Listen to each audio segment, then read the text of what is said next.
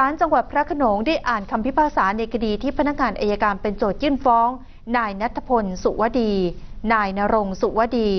นายสิทธิศักดิ์สุวดี ในความผิดฐานหมิ่น สถาบันเบื้องสูง ตามประมวลกฎหมายอาญามาตราที่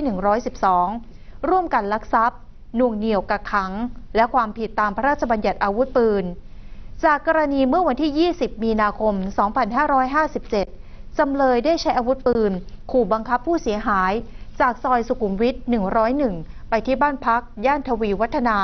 และแอบอ้างสถาบันเบื้องสูง บังคับให้ผู้เสียหายติดต่อบุคคลที่รู้จัก ให้ไปเจรจาเรื่องลดหนี้สินที่ค้างอยู่ พร้อมกับได้มีการกักตัวผู้เสียหายไว้ และลักเอาทรัพย์สิน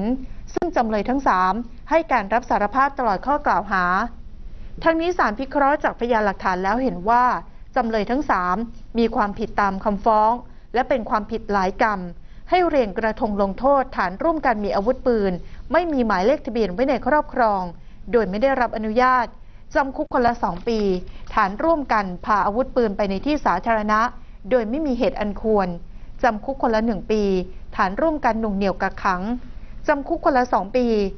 ฐานร่วมกันลักทรัพย์จำคุกคนละ1ปี ฐานหมิ่นสถาบันเบื้องสูงจำคุกคนละ5ปี รวมโทษจำคุกจำเลยทั้ง3คน คนละ11ปี แต่จำเลยให้การรับสารภาพเป็นประโยชน์ต่อการพิจารณา ลดโทษให้กึ่งหนึ่ง คงจำคุกจำเลยทั้ง 3 คนละ 5 ปี 6 เดือน โดยไม่รอลงอาญาสำหรับคดีนี้อายการได้ยื่นฟ้องจำเลยรวม 7 คน แต่นายสุทธิศักดิ์สุทธิจิต นายชาการภาคภูมิ นายวิทยา เทศขุนทศ นายชลัดโพธิราช จำเลยที่ 4 ถึง 7 ให้การปฏิเสธศาลจึงให้โจทย์แยกฟ้องจำเลยที่ 4 ถึง 7 เป็นคดีใหม่ ซึ่งภายหลังศาลมีคำพิพากษา เจ้าหน้าที่กรมราชทัณฑ์ได้ควบคุมตัวจำเลยทั้ง 3 กลับไปคุมขังต่อที่เรือนจำพิเศษกรุงเทพมหานครทันที